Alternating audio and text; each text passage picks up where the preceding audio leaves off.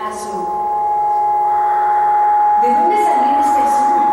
Dijo Marta, asombrada al ver que de pronto flotaba en la cocina una especie de niebla azul tenue. Una transparente y acuosa niebla que acabó azulando todos los trastos, la mesa del desayunador, el fregadero, toda la cocina y hasta ella misma. Salió de la cocina y vio que el azul estaba también en el comedor y la sala.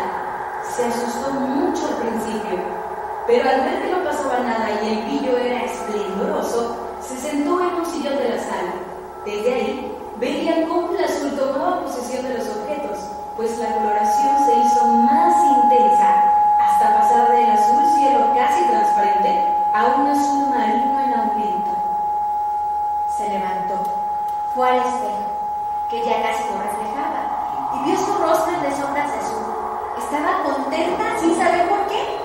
Comenzó a bailar en la densa bruma con los ojos cerrados. Tropezó con un jarrón que al romperse en el suelo comenzó a flotar en anillos. Asombrada, Maga casi ya no veía nada. Se sintió flotar hasta que llegó en el techo. Apoyándose con las manos, rectó hasta la lámpara. De ahí hasta el marco de la puerta de la cocina. Entró, llegó hasta el mueble de las ollas, impulsándose con las piernas logró descender. Abrió la puerta sacó una gran olla de aluminio. Después tomó un cucharón del fregadero y comenzó a golpear en ella. El sonido salía despacio. Tom, tom. Se rió y su risa se esparcía en la bruma suavemente. Dejó la olla en el aire. El cucharón lo aventó lo más fuerte que pudo y entre las sombras azules lo vio flotar hasta que se elevó hasta el techo.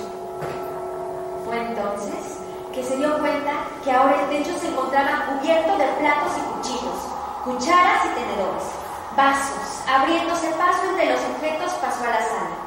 Ceniceros, adornos, flotaban las lámparas sujetas a su cable como globos. Vio cómo la jardinera de la escalera se elevaba pausadamente por el muro. Gateando por el techo, llegó a la escalera. Subió gateando pegado a la pared. Cuando estuvo arriba, se dirigió a su recámara, cruzó la puerta y entró. Cada vez le costaba más trabajo conducirse en la bruma que empezó a cobrar una El azul fuerte se embarraba en su cuerpo pegajosamente. Sintió miedo. Trató de gritar para pedir ayuda. La voz se quedaba a poca distancia de la boca. Pasó un tiempo ahí, en la esquina de su habitación llorando. Se formó enfrente de sus ojos un cristal transparente. Miró a través de él y vio que, por entre la bruma, todos los. Vio cómo la densidad fue cambiando y los objetos comenzaban a descender. Logró moverse en el aire y fue cayendo suavemente hasta que sus pies tocaron el suelo. El azul volvió a su transparencia al tiempo que oyó como por toda la casa se rompían objetos. Corrió justo para ver cómo la jardinera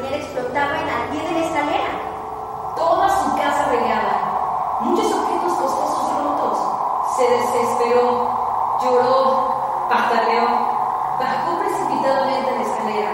Comenzó a bater afuera de sí cuanta cosa encontraba en el suelo. En eso llegó Mario. ¿Qué te pasa, mujer? ¿Estás loca? dijo deteniéndole violentamente. ¿Qué has hecho, carajo? ¿Qué te pasa? Mira cómo está la casa. Magda no podía decir nada. El llanto no la dejaba articular palabra. Por fin se calmó un poco y le contó a Mario lo del azul.